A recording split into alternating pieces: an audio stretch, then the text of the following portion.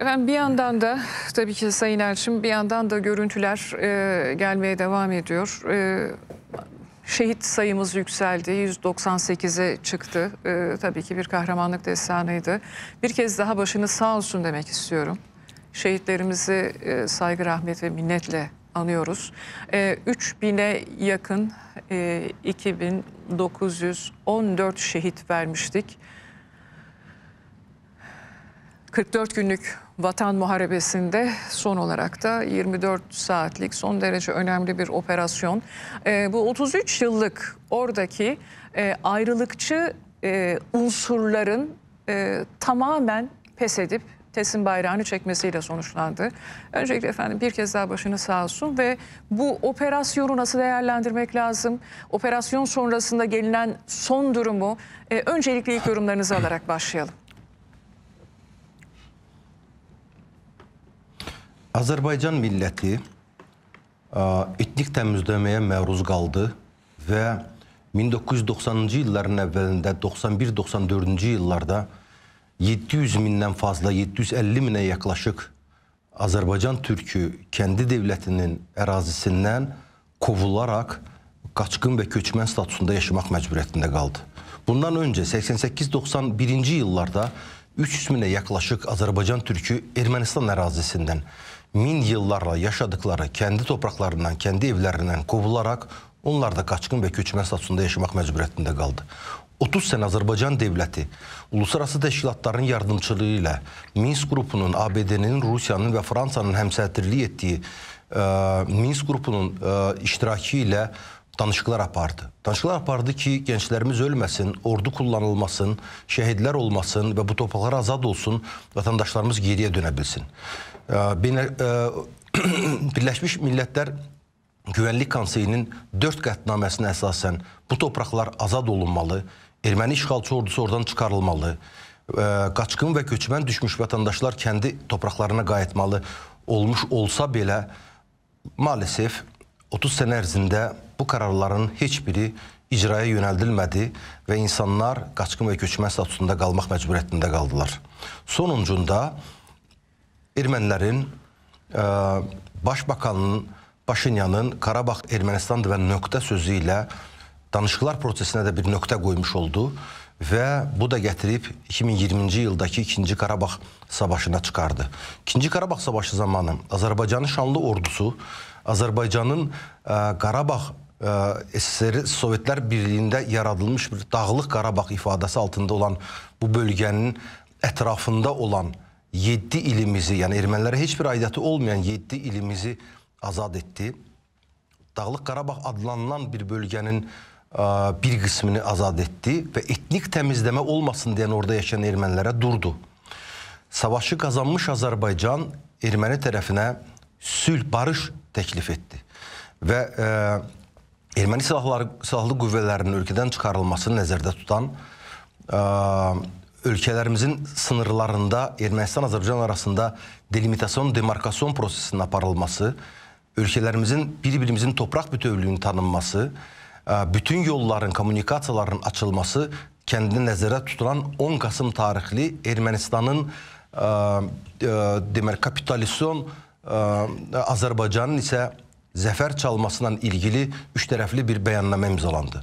Bu bəyannamənin tələblərinə uyğun olaraq 5 sənə e, ərzində, yəni 2025-ci illərdə Rusiyanın e, barış gücləri bölgəyə yerləşdirilməli və bu proses ərzində, bu dövr ərzində də bölgədə yaşayan erməni nüfuzu Azərbaycan toplumuna inteqrasyona həyata keçirilməli idi. Lakin biz nə gördük?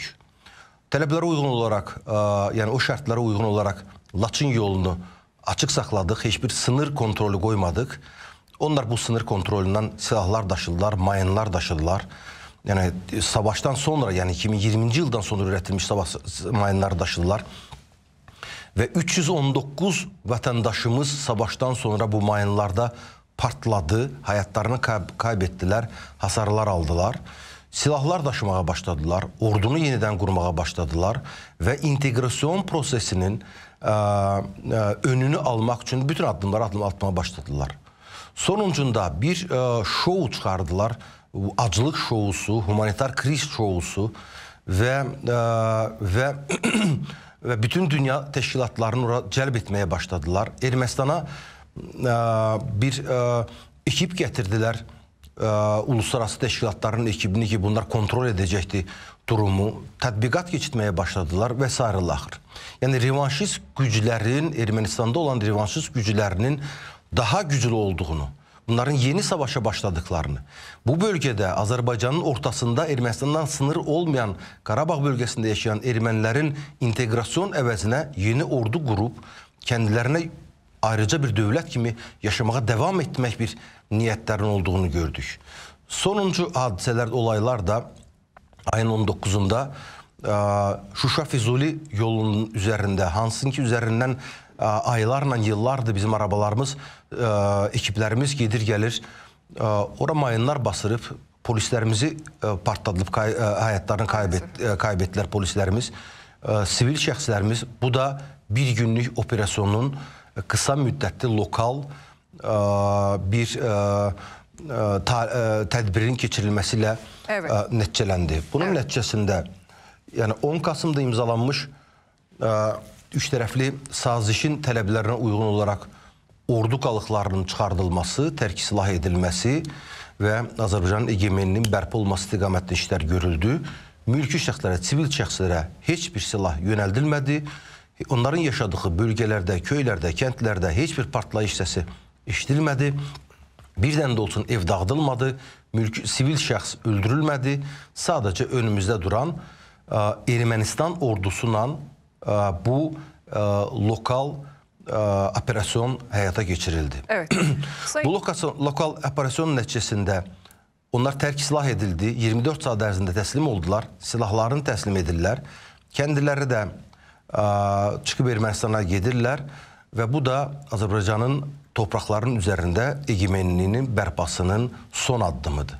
Yəni əgər biz ə, 20-ci ildə 2-ci Qarabağ savaşında işğala son qoyduqsa da Laçın yolunda ə, sınır kontrolünü qoyduqda ə, 2023-cü ilin Nisan ayında biz ə, torpaq bütövlüyümüzü bərpa etdiksə də ə, bu ayın 19-unda ə, keçirilmiş qısa müddətli bu lokal ə, tədbirlər nəticəsində isə antiterror tədbirləri nəticəsində biz torpaqlarımız üzərində egemenliyi bərpa etdik. Və bundan sonra dərhal o bölgədə yaşayan insanlara müraciət etdik ki, Azərbaycan pasaportunu alıb Azərbaycan ərazisində Azərbaycan qanunlarının, anayasasının tələblərinə uyğun olaraq yaşamaq istəyən hər bir insanın bütün haqlarını Azərbaycan dövləti qoruyacaqdır. Cumhurbaşkanım şəxsən söylədi. Cumhurbaşkanım ə, köməkçiləri, ekipi, Dışişləri Bakanlığımız bu elan etdi. Biz ə, bu son ə, ə, tədbirlərdə, bu antiterror tədbirlərində mülki şəxslərin, sivil şəxslərin hasar almasın deyən, ziyan görməsin deyən öncədən SMS-lə xəbərdarlıq etdik. Silah kullanılacaq yerlərdən uzaq dursunlar.